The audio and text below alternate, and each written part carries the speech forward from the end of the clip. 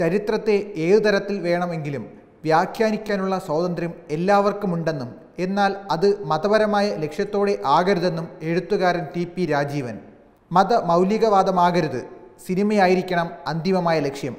മലബാർ കലാപത്തെപ്പറ്റി ഇപ്പോൾ പ്രഖ്യാപിക്കപ്പെട്ടിട്ടുള്ള വാര്യം കുന്നിനെ താൻ എതിർക്കുന്നത് ഇക്കാരണത്താലാണ്.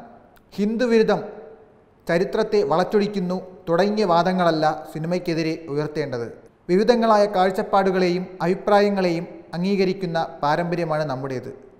ഒരു സിനിമയോടെ തകർന്നു പോകുന്നതല്ല ഹിന്ദു വിശ്വാസവും ആചാരവും.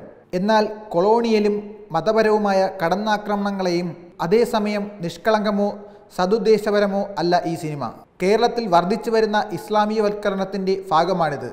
വിഭാഗീയതയും മുസ്ലിം ഏകീകരണവുമാണ് ലക്ഷ്യം. മതവത്കരണത്തിന്റെ ഭാഗമായിട്ടുള്ള ഒരു കലാപ്രവർത്തനവും അംഗീകരിക്കാനാകില്ല. ഹിന്ദു അജണ്ട നടപ്പാക്കാൻ സിനിമകളെ ഉപയോഗിച്ചാലും ഇതുതന്നെയാണ് നിലപാട്. ഇസ്ലാമിക രാഷ്ട്രം സ്ഥാപിക്കാനുള്ള ബോധപൂർവമായ പ്രവർത്തനം നമുക്ക് ചുറ്റുമുണ്ട്. മുംബൈ ഗുജറാത്ത് തീരങ്ങളിലാണ് ഇന്ത്യയിലെ മുസ്ലിം ഭീകര സംഘടനകൾ മുമ്പ് കേന്ദ്രീകരിച്ചിരുന്നത്. എന്നാൽ കേന്ദ്രത്തിലെ ഭരണമാറ്റത്തെ തുടർന്ന് ഇന്റലിജൻസ് സംവിധാനങ്ങൾ ശക്തിപ്പെട്ടതോടെ നിലനിൽപ്പ് പ്രശ്നത്തിലായ അവർ പ്രവർത്തനം ശ്രീലങ്കയിലേക്കും തമിഴ്നാട് കേരള തീരങ്ങളിലേക്കും മാറ്റി.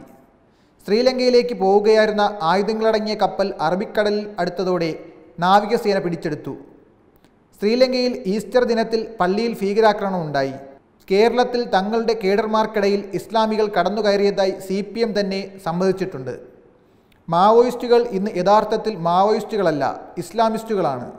സി പി എമ്മിൽ വളർന്നുവരുന്ന യുവനേതാക്കൾ ഭൂരിഭാഗവും ഇസ്ലാമിസ്റ്റുകളാണ്. ഇടത് ലേബലിൽ സ്വീകാര്യതയുണ്ടാക്കിയ സംവിധായകനാണ് സിനിമയ്ക്ക് നേതൃത്വം നൽകുന്ന ആഷിഖ് അബു.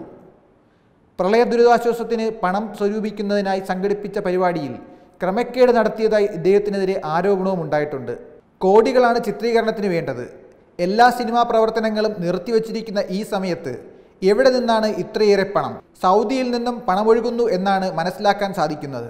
പൗരത്വ നിയമം വന്നപ്പോൾ കേരളത്തിലെ സിനിമാ പ്രവർത്തകർ നടത്തിയ പ്രതികരണം ഗൗരവത്തിലെടുക്കേണ്ടതുണ്ട്. ഇതിനേക്കാൾ പ്രധാനപ്പെട്ട നിരവധി വിഷയങ്ങളിൽ മൗനത്തിലിരുന്നവർ നിയമത്തിനെതിരെ സംഘടിതമായി രംഗത്തെത്തി.